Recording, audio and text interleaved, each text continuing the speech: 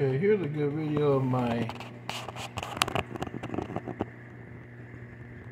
supposed to be called a uh, convalescent anemone.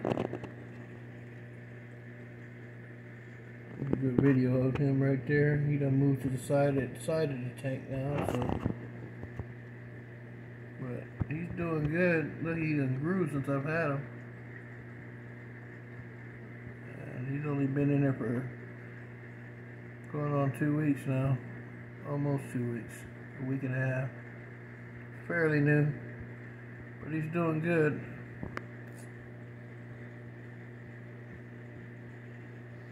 I've fed him a couple times now. Fed him shrimp.